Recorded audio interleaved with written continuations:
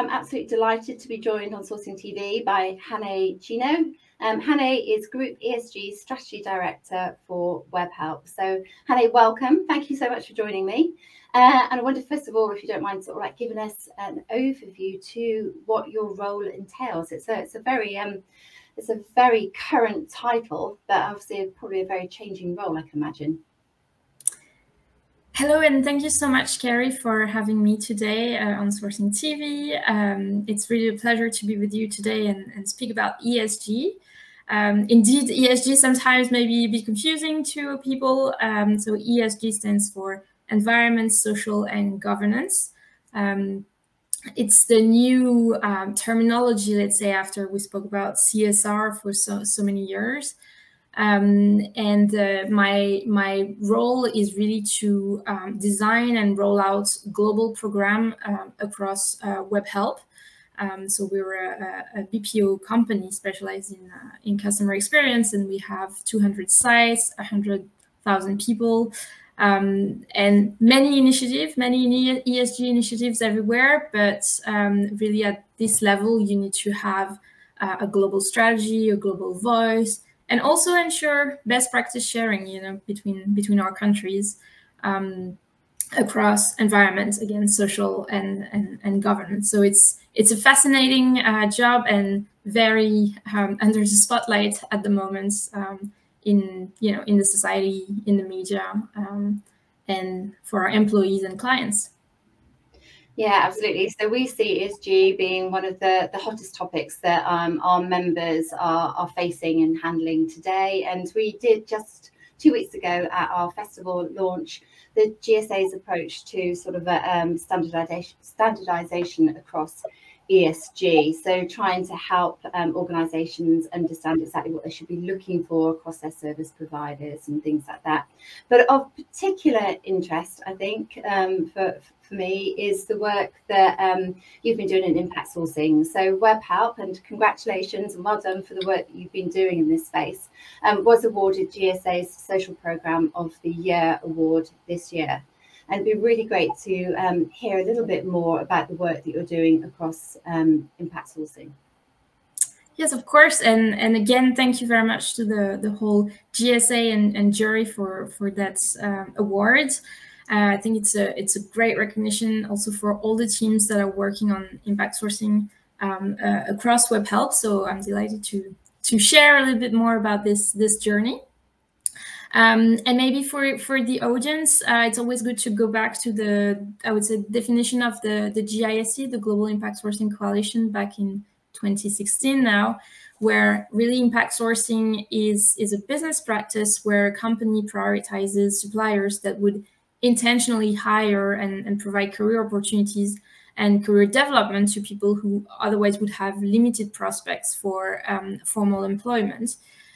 Um, and so that's the let's say the official uh, definition. Uh, um, and I think what's what's a bit specific with Webhelp is that um, we we tried to when I started in ESG at Webhelp in 2020. Um, we realized really that there was more than the impact hiring piece, and there was a whole range of impact that a company like us uh, could make um, and um, thanks to the, the campaigns and the partnership with our clients. So you have the impact on education uh, with the relationship with universities and, and school, local schools. You have the impact, what we call employment, which is how do you ensure that there is inclusion of your um, employees in the labor and in the society through, you know, transportation, canteen facilities, um, medical staff um, on site, things that these um, impact workers would not have access to otherwise. Um, there's also impact on career development um, uh, to help them grow within within business and getting certif certified. Uh, and finally, there is impact that you can do on procurement as well, on your own um, supply chain. So this is this whole range of impacts uh, through impact sourcing. That uh, was my first project when I started uh, with ESG at Webhelp um, to to really let's say codify it and and give a voice to it uh, and spread the word across the organization.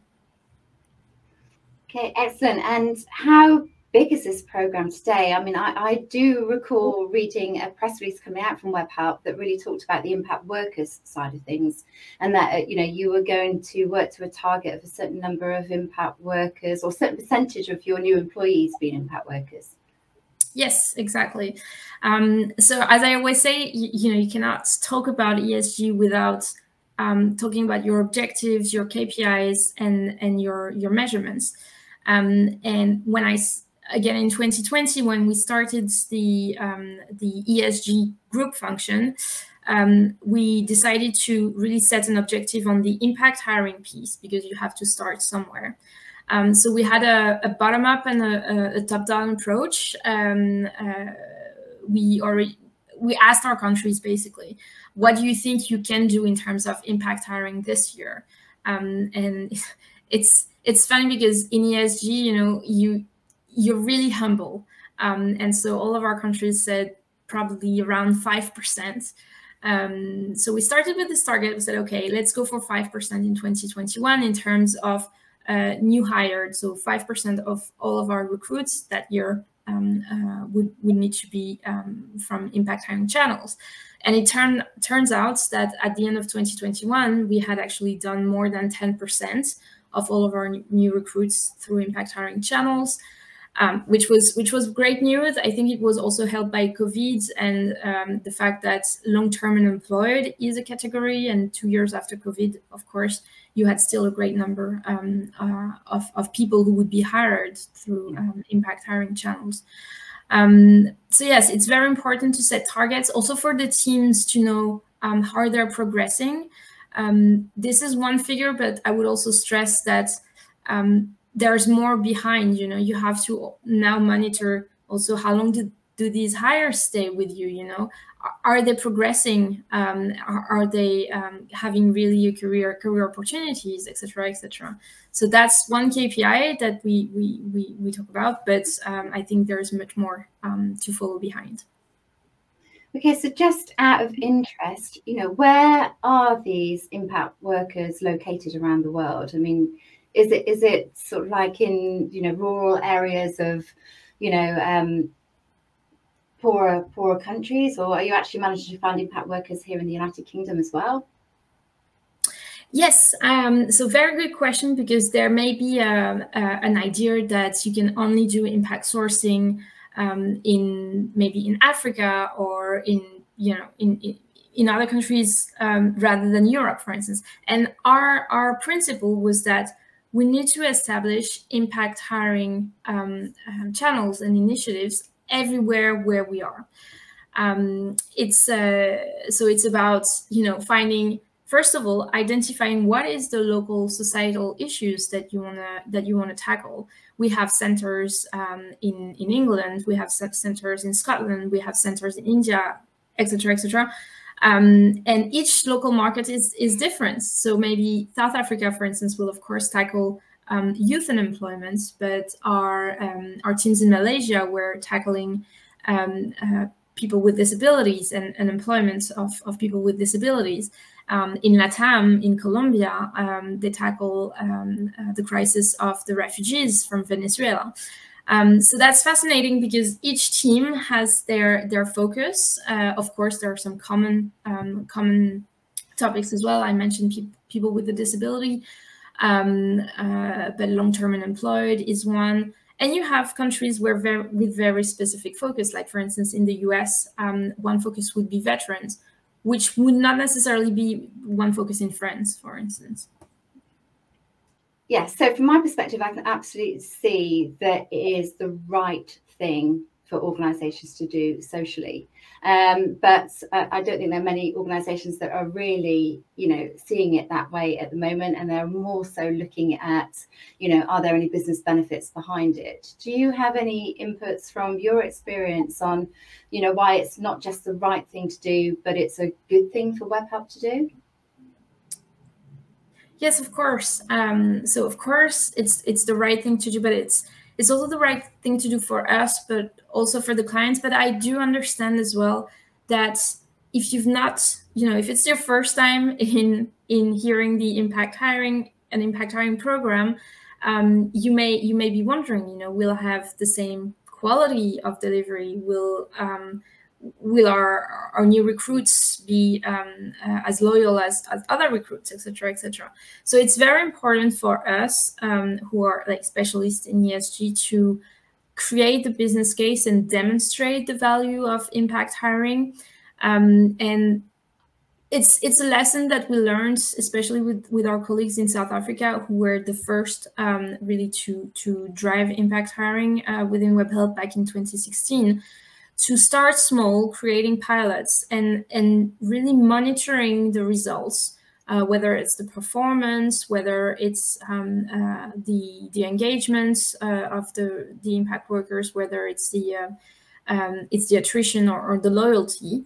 Um, and once you you do that, and this is what they've done, you can increase and you can convince clients, up ops teams um, to to to to work on impact hiring. And just to give you an example, for instance, in South Africa, they started with a pilot of 20 uh, impact workers back in 2017.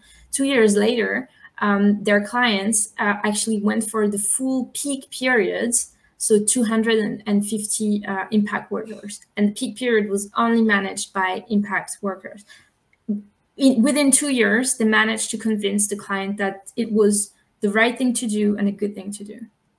Yeah, that is fantastic. And how are you finding it bringing customers on this journey with you? Is it is it really a, a simple sell, um, or, or what would be your advice to other organisations um, and to customers, to the end buyers about why it's the right thing to do? So I think there are many people you have to uh, onboard, um, starting with the sales teams, uh, of course, because they are the ones, or the account management teams, and they are the ones who will be in direct contact with the clients. So we do spend a lot of time um, uh, explaining to them the the models, um, the business cases, um, having also kind of reflects to always propose the option. The client may not um, may not accept it at the beginning.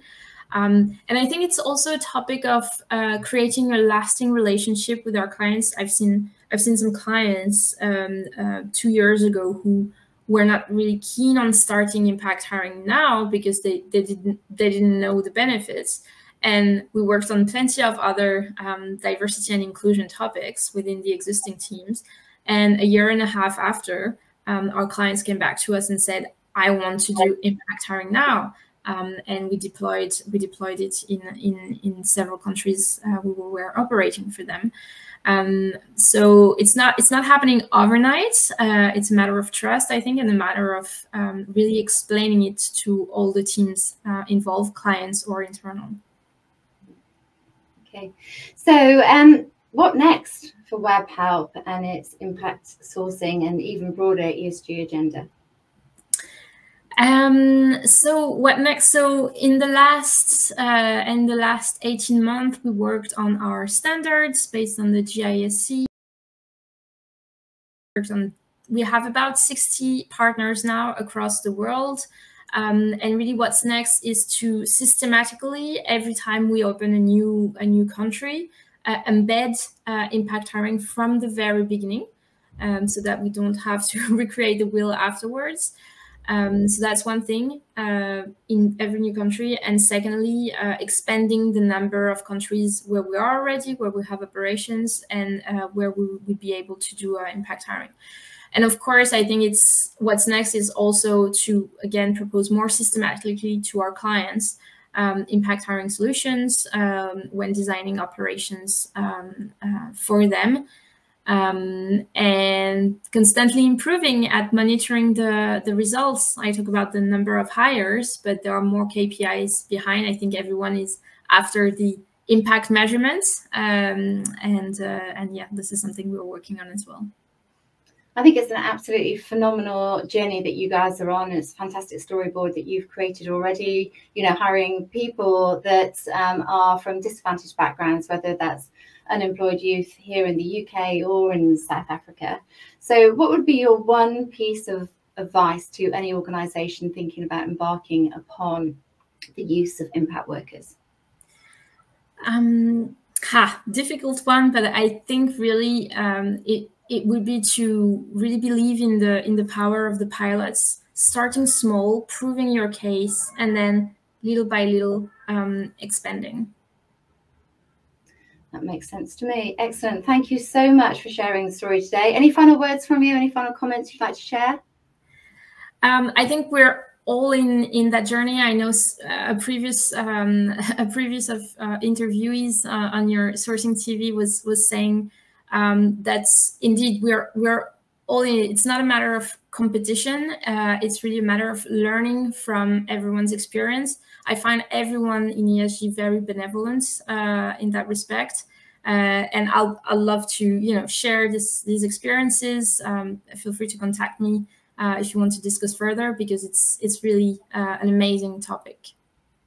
It is indeed. So thank you very much, Hannah. And I completely want to echo what you're saying. You know, this, I think the pandemic has changed our industry really significantly. There's so much more willingness to collaborate rather than see each other as, as, competitors. And that, that's got to be one major, major positive that has obviously come about from something really, really, you know, awful. But um, but yes, the sharing is really appreciated. So thank you so much for sharing your story, and please continue to share your best practice and impact sourcing with us. Thank you, Honey.